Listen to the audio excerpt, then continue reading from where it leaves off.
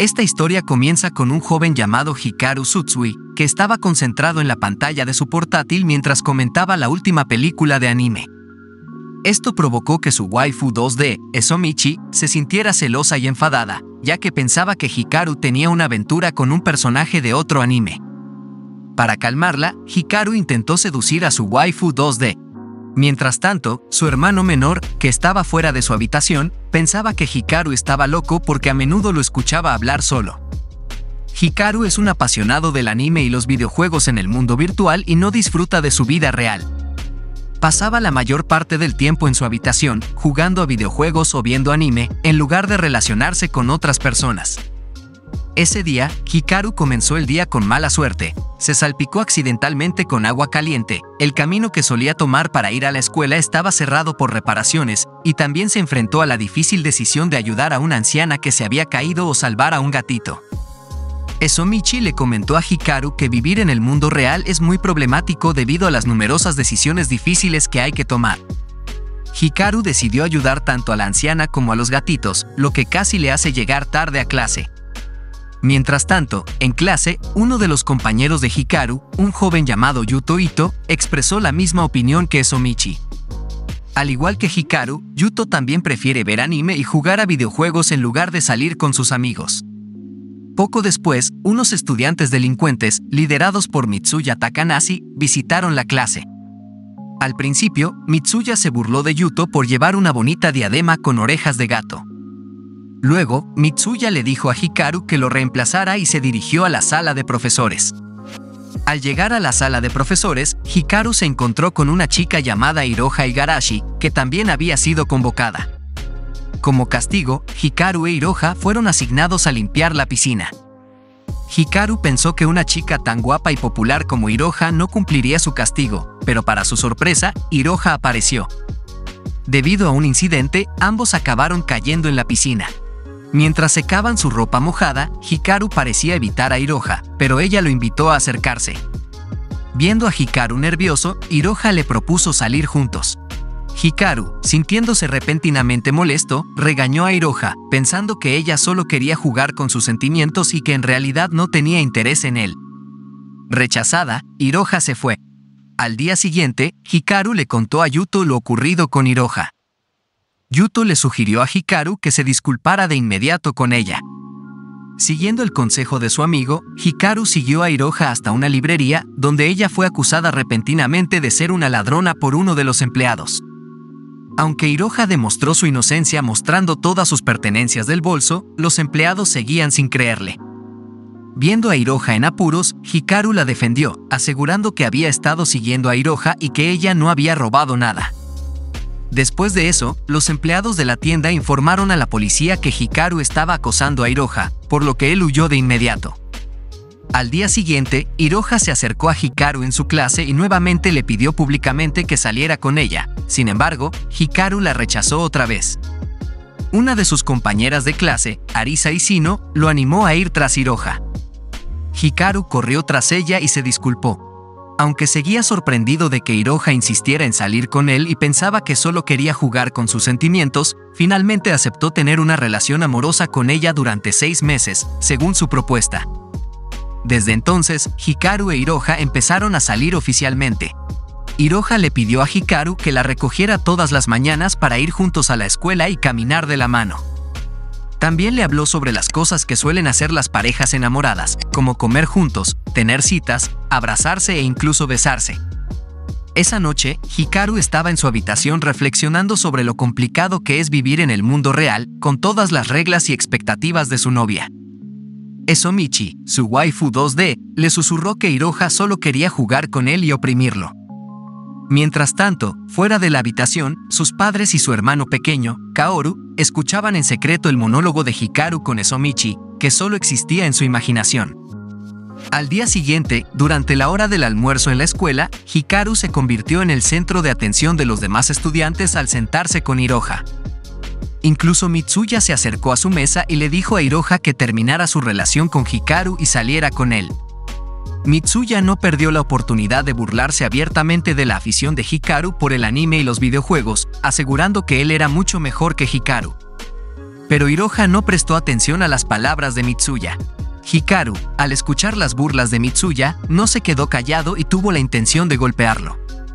Sin embargo, Hiroha se derrumbó repentinamente, quedando débil e indefensa, y le pidió a Hikaru que la llevara al médico Mabuchi en el hospital.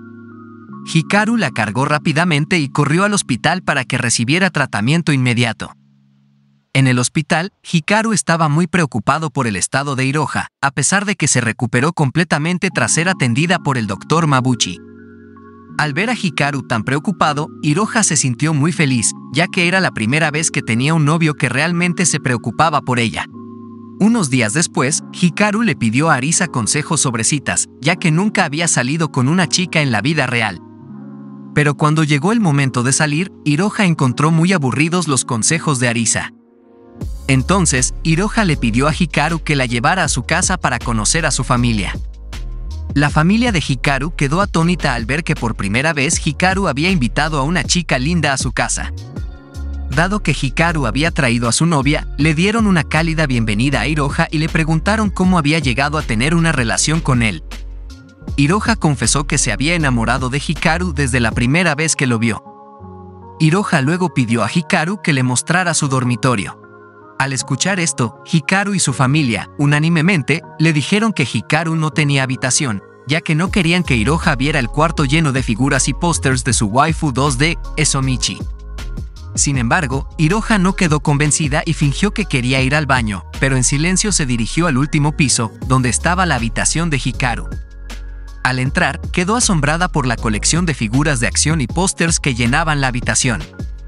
Por otro lado, Hikaru estaba sorprendido de que Hiroha apreciara su pasión por el anime y los videojuegos y no lo considerara un otaku raro.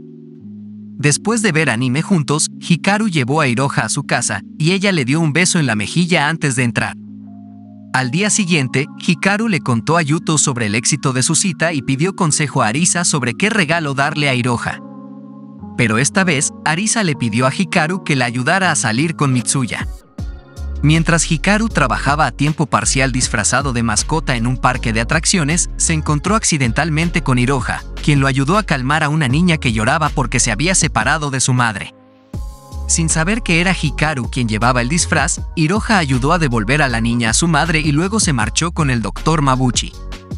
Al ver la cercanía entre Hiroha y el Dr. Mabuchi, Hikaru empezó a cuestionar la relación entre ellos, sospechando que podría ser algo más que una simple relación médico-paciente. Al día siguiente, Hikaru envió un mensaje de texto a Hiroha diciendo que no podía recogerla. Desde entonces, Hikaru comenzó a evitar a Hiroha en la escuela. Un día, mientras estaba solo en el jardín de la escuela, conoció a una estudiante llamada Sumi Ayado, quien también era una gran aficionada al anime y los videojuegos. A Sumi también le gustaba mucho el personaje de Somichi, igual que a Hikaru, lo que llevó a una apasionante conversación entre ellos por su interés compartido. Mientras tanto, Hiroha vio a Hikaru y Sumi charlando animadamente, lo que le molestó. Mitsuya, que estaba a su lado, intentó instigar a Hiroha a terminar su relación con Hikaru. Más tarde, mientras regresaban a casa desde la escuela, Hiroha y Hikaru se cruzaron accidentalmente en la calle. Hikaru, insensible a los sentimientos de Hiroha, reaccionó fríamente, evitándola aún más y permitiendo que los malentendidos se prolongaran. Finalmente, los dos se distanciaron y comenzaron a comportarse como extraños.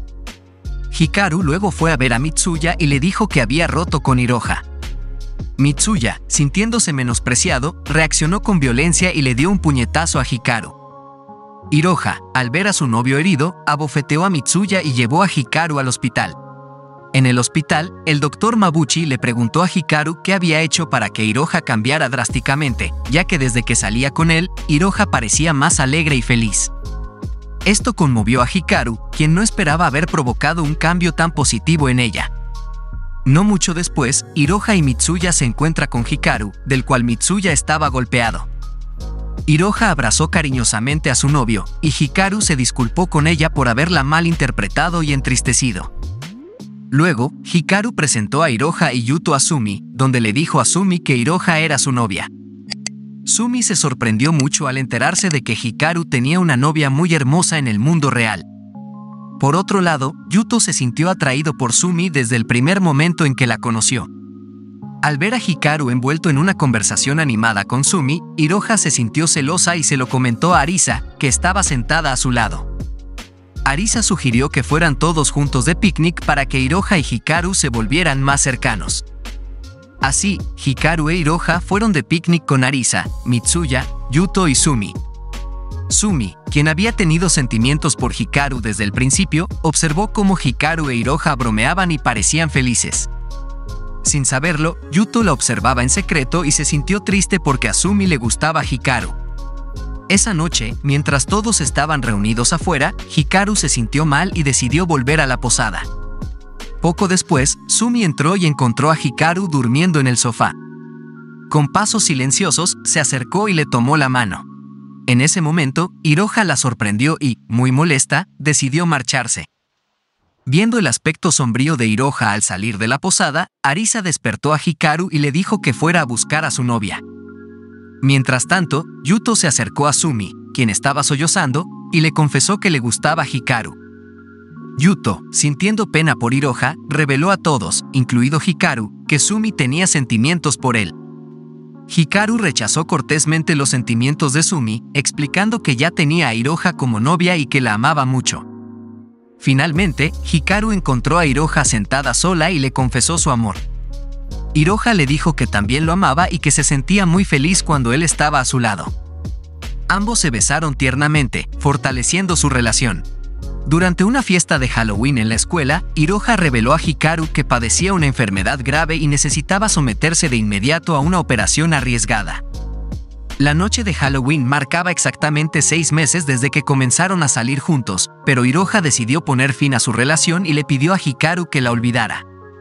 Hikaru, con lágrimas en los ojos y sin palabras, vio cómo Hiroha se alejaba entre la multitud, dejándolo solo. Cinco años han pasado desde entonces y Hikaru ha estado trabajando como empleado en una empresa. A pesar del tiempo transcurrido, sigue pensando en Hiroha.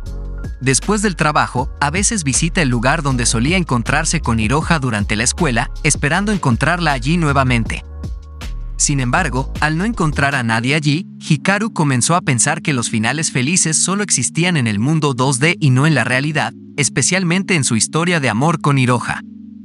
Un día, por casualidad, se encontró con Hiroha, pero al llamarla, ella no lo reconoció y lo dejó inmediatamente. Hikaru luego se encontró con el doctor Mabuchi, quien le reveló que Hiroha había perdido casi todos sus recuerdos debido a la cirugía cerebral. El doctor Mabuchi le pidió a Hikaru que olvidara a Hiroha, ya que pronto se casaría con ella. Cuando Hiroha regresó y le preguntó por él, Hikaru le dijo que se había equivocado de persona y que no la conocía, para permitirle a Hiroha seguir adelante con su vida junto al Dr. Mabuchi sin tener que recordarlo. Esa noche, Hikaru se reunió con sus amigos del instituto y les contó sobre lo sucedido con Hiroha y los planes del Dr. Mabuchi de casarse con ella. Todos sus amigos se mostraron entristecidos al saber que Hiroha había perdido la memoria, lo que significaba que no recordaba ni a ellos ni los momentos que compartieron en la escuela secundaria. Llegó el día de la boda de Hiroha y el Dr. Mabuchi, a la cual asistieron Arisa, Mitsuya, Yuto y Sumi. Durante la ceremonia, Arisa tomó el micrófono y compartió recuerdos de su tiempo en la escuela con Hiroha y sus amigos. Yuto le entregó a Hiroha un regalo especial, Mientras tanto, Hikaru parecía estar inmerso en una conversación con Esomichi, expresando que nunca olvidaría a Hiroha y que seguiría amándola. Tras reflexionar, Hikaru se decidió a luchar por su amor y recuperar a Hiroha. Mientras Hiroha abría el regalo de Yuto, que resultó ser la varita de juguete de Esomichi, recordó instantáneamente todos los momentos que había compartido con Hikaru. En ese momento, canceló rápidamente la boda y corrió a reunirse con Hikaru. Hiroha y Hikaru se reencontraron en una fiesta de Halloween, donde finalmente expresaron sus sentimientos el uno por el otro y decidieron estar juntos para siempre. Terminando así esta historia. Si te gustó el video, no olvides dejarme tu buen like y suscribirte al canal para que no te pierdas ninguno de nuestros resúmenes. Cuídense y nos vemos en los próximos días con un video nuevo.